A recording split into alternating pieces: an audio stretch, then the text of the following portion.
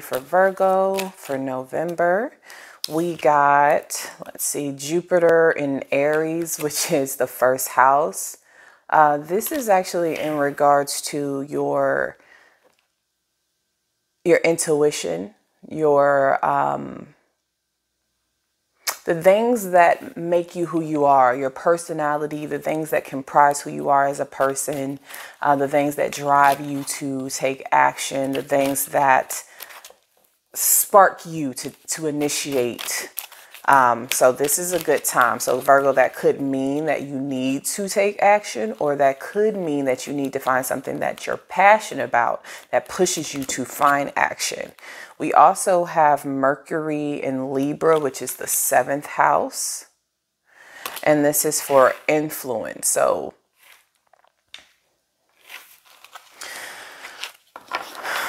this is a good time to really focus and ground yourself, not to have your fears influence the type of stability that you want to have. Now, the seventh house is about relationships, partnerships. Um, so there could be some anxiety around that. That could be some. There could be some fears around your relationship life right now. That should. There could be paranoia in regards to the other people who are around you. Um, but getting very strongly not to allow your fears to dictate your connections. And I say that because look at that snake and look at how the couple, Adam and Eve, is actually fearing the worst to occur. So you want to make sure you are manifesting positive energy in your connections, friendships, etc. right now. What else we got for you? So we have Saturn in Capricorn, 10th house, and this is for riches. Very happy to see this for my Virgo gang. So, of course, there's a lot of focus on your finances right now, specifically what your future is going to look like. Look at this big star here. It's almost like this person is walking their path with everything that they have that they need uh, alpha and omega. So they have the energy of spirit, they have the things that they feel is a big part of what they need to be successful or what makes them them to go towards that star energy. So walking a path that maybe is a little bit uncertain to you because you can't see the other side of this path, but knowing that you are guided, you are watched over by spirit, God, however you resonate here. We also have the moon in Pisces, which is the fourth house. Uh, this is about your friendships, family. This is about your connections um, and the things that you protect. So, friendships could be very important for you during November. You could see friendships evolving, some evolving out of your life, and some coming back into your life because you have changed, Virgo. So, that means everything around you will change or is about to change. All right, I like that energy. So, let's go into the tarot here. So, what's coming towards Virgo? For November. What's coming towards Virgo in November? We got the Empress. So I put this card down and I said, money, honey. That was the first thing that came to my brain for you, Virgo. So abundance. There's a strong focus on abundance as far as what is coming towards you in November. I see you're manifesting that. You're really trying to be in your feminine energy, no matter if you're a man or a woman or however you identify yourself. This is a receiving energy here. So I'm getting the energy that you may feel like all those seeds that you planted over the year, it's time for them to pop. It's time for them to show, improve, or you're going to make some changes here. We got the eight of wands. So communication could be I'm getting it could be very heavy right now, but it also could be very challenging. This is a very intense energy for you right now, Virgo. You could be taking the things that people are saying incorrectly. You could be taking it correctly and then acting on it. I'm getting a very strong sense of you understanding uh, the importance of November, the importance of this year about to end, and really evaluating who you want to take with you or not. And we got the tower here. So some people aren't going to make it on the boat you are ending certain things, certain connections. And we have temperance. Anything that you feel that's in your life that stops you from being as great as you know you can be or you are wanting to be in your future, you're cutting that out. You may be communicating this, you may not. I'm getting in a lot of cases, people will know 100% why you don't mess with them anymore or others you could just be walking away and finding your healings. And then we got the ten of swords here. So again you are cutting off so you can transform. I get this energy of feeling like maybe a lot of people places or things are dead weight and you wanting to relieve yourself because you know you have to get rid of this dead weight to be in your empress energy. All right who's coming towards virgo in the month of november who is coming towards virgo we got the page of pentacle energy here on the seven of pentacles. So someone who someone who wants to give to this, I do see that this person is taking their time. This person is in your environment. I kind of get this person is like waiting patiently back, counting the days, counting the money, counting the hours in which they can actually come towards you. Look at my face. Mm. And who we talking about? We talking about the Knight of Cups here. So you could be dealing with the water sign energy. It does appear someone wants to bring love towards you. It also appears as this is a person you had a disconnect with in the past. Yeah, Ace of Wands here. This person has found some type of newfound passion or vigor or courage to come towards you. That's what I'm getting here. What does this person want? What does this person want with Virgo? in the month of November. Ace of Pentacles. They want to plant a new seed. They want a new start. They feel like they have healed from whatever happened in the past. Look at the Pisces reading because I'm getting very similar vibes to that reading. Um, and Pisces did come out in your oracle. Um, it's almost like they feel like they're healed enough to give this another try. What happened in the past between you and this person? Look at that. The Hermit, that's you. Five of Cups. Ten of Cups. Knight of Wands. So Virgo, in the past, you felt a lot of regret here. You could have even went through a depression because of this person. You were in love with this person. You had unconditional love with this Ten of Cups. I see this person was a playboy, F boy, F girl, F entity. I do see um, Knight of Wands energy. This person almost turned their back on this love and rushed towards passion instead of rushing towards what was in their heart. This person also could be a bit emotionally immature and manipulative. So that is past energy um, here and closed off with their emotions with the king. Yeah, um, I got the Wheel of Fortune here. Again, this card Similar cards came out for Pisces. You could be dealing with a Pisces. Um, I do see this person has changed. So the Wheel of Fortune creates that shift. So in the past, when this person was playboy, emotionally immature, manipulative, really out for their own selves, I'm surprised the Emperor has not came out yet. Closed off, guarded by their emotions. This has actually changed here. This person has taken on some type of transformation. What is this? Two of Swords. Why is the Two of Swords here? Eight of Cups. Five of Wands. And Four of Pentacles. This person walked away or ran away because of fear. There was a lot of fear here. Could have been commitment fear, getting a fear of making a choice, fear of conflict, arguing, or them walking away caused a lot of arguments here. Okay, what happened between y'all other than the fact that this person was a playboy, playgirl, play entity? What else happened? Third party possible, third party situation with the three of wands. Justice here. Five of pentacles. And the Fool card. I'm getting this person could have relocated Virgo. They could have moved on with another person or moved to another place. Um, it's like I'm I'm getting there getting like negative karma for not taking a risk. Like they went towards something passionately and impulsively, but your karma, or at least, you know, if this makes you feel good, is that this person's not happy. They feel very left out in the cold. They feel dumb for making this choice.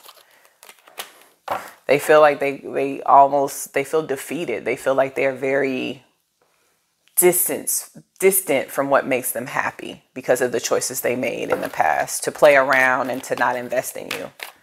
All right, so what let's see how this person feels about you. How does this person feel about Virgo and the current energy? How does this person feel about Virgo and the current energy? We got the 10 of Pentacles, Eight of Pentacles, a lot of money, whole lot of money in this month. Okay, Queen of Pentacles. And the Six of Cups. So Virgo, this person sees you kind of like they could have had everything with you. That Ten of Pentacles is like the joining of two things to create abundance, specifically a family vibe. You see how the butterfly has that little home below it here. Green is one of my favorite colors as a Virgo. It does represent life, vitality, abundance. Something's growing, something's nourished, something is um, successful here. Uh, let's see here. They want to work on you, work on you Maybe they want to work on you. Work, work, work, work, work, work. anyway, uh, they want to work on this. Uh, they see you as someone that is very abundant. They almost see you as someone who is above them, someone that they can learn from, someone that they admire here, which I like that. Um, and then with the Six of Cups energy, they are very nostalgic. They think about the past. They think about how they ran away with some of your hopes, wishes, and dreams. Like they know how much you meant to they meant to you and vice versa. But it's almost like whatever dream you had with this person, Virgo, they kind of ran away and took took that dream with them. Okay, man. Let's see how you feel about this person, Virgo. How do you feel about this person? I don't like that. That made my heart full a certain type of way. You ran off with this person's dreams. How dare you? Okay, so we got the Six of Swords with how you feel. Two of Cups. That mutual love, mutual unconditional love, and a soul connection that lasts even on the other side when you are no longer here. That's a super deep connection that you feel like you have with this person. Have the chariot here and the ten of wands. Okay, so you I think you have came up with an equation of life that does not include this person that makes you happy. Now, that doesn't mean that that is what you prefer. Kind of get the energy of that's what it has to be because this person did not move forward towards you, even though that is what you wanted. We got the Ten of Wands. You feel like it's still, it's very burdensome to have faith in this situation here. Four of Wands. But deep down, this person, Hierophant, is like your family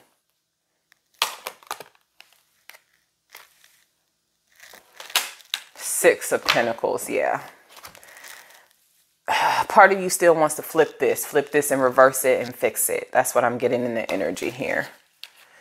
Again, this might be like the only person that you saw yourself with in the future, like the only person you've ever wanted a family dynamic with, the only person you wanted stability with. All right, what about the mutual energy? What's going on between you two and the mutual energy, Virgo? Four of Swords, Eight of Swords, and the Lovers. See that? Let me, let me, the Lovers and the Mutual Energy. Okay. And the Emperor. So the Empress came out in the very beginning. The Emperor I'm getting this is going on for a while. This has been going on for a while. I think, Virgo, you are always the empress. Um, I think this person has just now started to work and get into their emperor energy. Um, in the mutual energy, I do see that there is a break. There's no communication currently. Um, you both are very trapped in your head about each other. Like you know that there is a connection here. Again, you're not communicating, but you're both trapped in the head about this. Queen of Wands, Queen of Cups. Look at that. Queen of Wands and the Queen of Cups. So not only is there unconditional passion, desire, there's also unconditional love here in this connection and the high priestess. Again, you could be dealing with a Pisces. All right. What about outcome? What's the most likely outcome? I haven't used any clarifiers, which is amazing. Most likely outcome between Virgo and this person. I was going to say Virgo and this Pisces. So, okay. I see the Three of Cups energy, Four of Cups, and the Star card.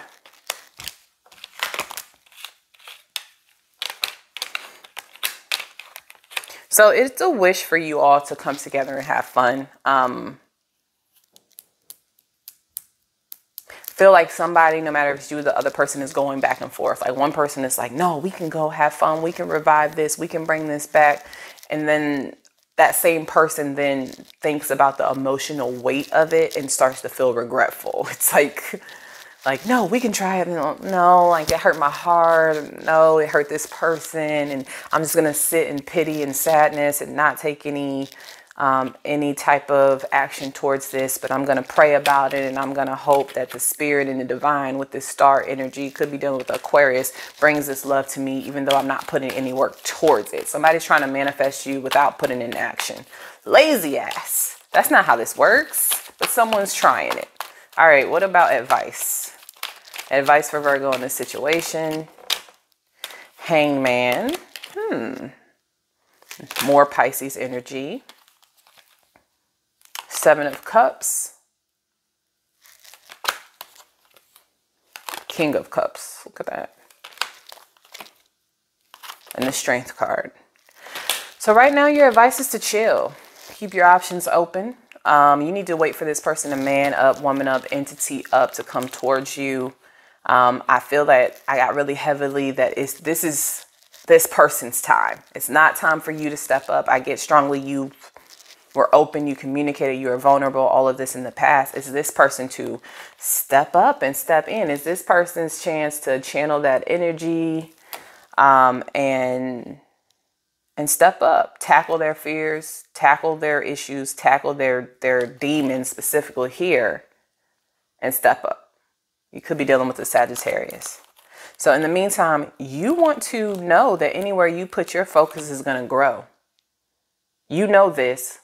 Remind yourself of this that any cup you pick, any cup you invest in will grow, not just this one, but another one. And maybe that's something that you're learning because I see you looking at these other cups with like, look at how, look at how this changed by me putting my love into this. Look at how this changed by me putting my love and energy into this. You have realized how magical and how special you really are. And because of this, you are not going towards this person. This person has a lot of secrets as well one of the main secrets is that they want that old thing back. you are their secret that they want that old thing back.